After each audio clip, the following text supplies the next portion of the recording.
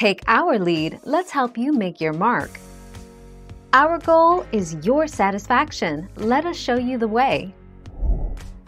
If you're trying to make smooth stone to make a blast furnace and later redstone items, you can make the required 3 smooth stone using your regular furnace and then just switch to using the blast furnace for further cobblestone and smooth stone smelting to save time.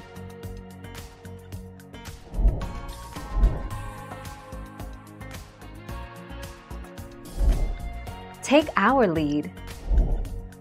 The correct answer is a giant wall of redstone furnaces.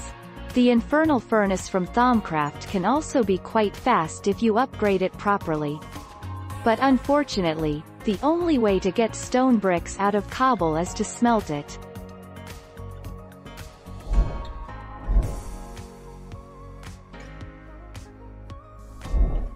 Take our lead. Smooth stone can only be gotten by using the furnace. Step 1. Get cobblestone. Step 2. Get coal. Step 3. Build the furnace. Step 4. Use furnace to turn cobblestone into stone. Step 5. Use furnace again to turn stone into smooth stone.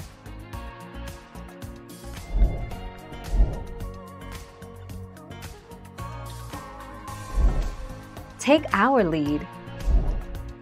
Blast furnaces are similar to furnaces, but can smelt only ore blocks and tools, armor made of iron, gold or chainmail. Blast furnaces serve as the counterpart to smokers, which are used mainly to cook food faster.